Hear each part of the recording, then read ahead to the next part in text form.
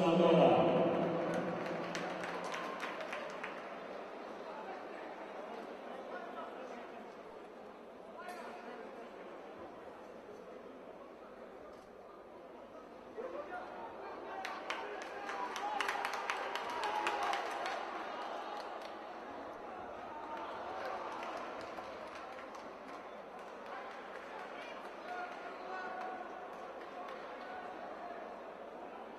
Drage Menschen,